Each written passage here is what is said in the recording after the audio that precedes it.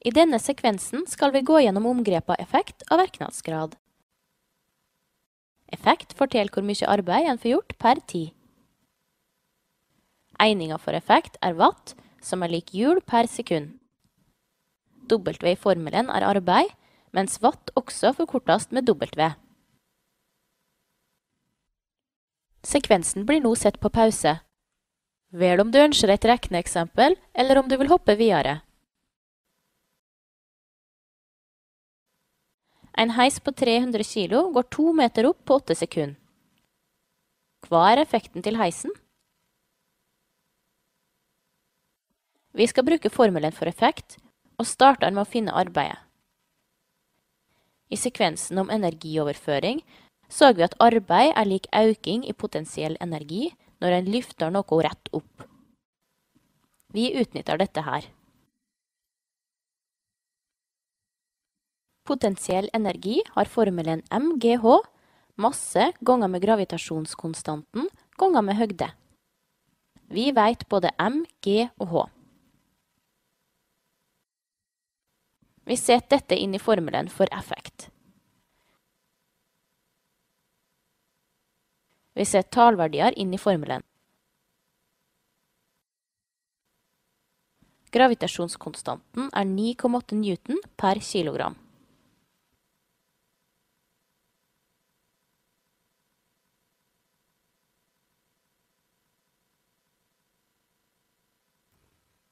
Effekten til heisen er 735 watt. Før i tida snakka en ofte om hestekrefter. Ei hestekraft er omtrent lik 735 watt. Altså skal en gjennomsnittshest klare å lyfte en heis på 300 kilo to meter opp på åtte sekunder. Verknadsgrad forteller hvor godt apparat utnytter energien. For å spare på energien er vi ute etter at apparatene vi bruker, omgir mest mulig energi til det vi ønsker oss. For eksempel vil vi at bilen skal bruke all energien i bensinen til å drive bilen framover. Ikke til å lage lyd og varme.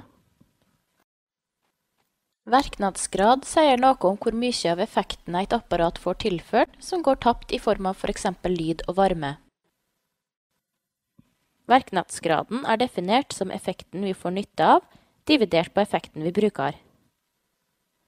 Dette kan vi skrive på følgende måte. Høg verknadsgrad vil si at vi får utnytta mye av den effekten vi har brukt. Dess lågere verknadsgrad et apparat har, dess mer effekt går tapt. Trykk på knappen for å se på et regneeksempel. Ei lyspære får tilført eller bruker 60 watt, men det er bare 3 watt som blir til lys. Resten av den elektriske energien går til varme. Hva er verknadsgraden til lyspæra? Vi bruker formelen for verknadsgrad.